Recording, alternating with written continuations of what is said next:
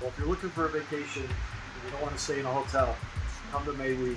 It's a beautiful home with beautiful people who take care of you. It's a relaxing place, and you have to come here to experience the food. Food is wonderful, breakfast, dinner, and we had a wonderful time, and I highly recommend it for a different vacation from the normal.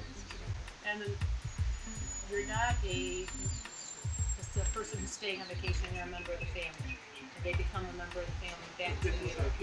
So Harding was very sweet sour today, but uh, from the chef down to um, Miss Peck who does our laundry, to Carlene and to Audrey who do all the many multitasking work from cleaning to, to Shane who uh, us on our walks, and Kent who is the mystery man who is took care of all the tennis sports. We can't thank them enough because they answered all of our concerns and our wishes and, and did everything to make our stay the most glorious. So we We're- appreciate them. And we're glad we stayed. Yes, we did. Yeah.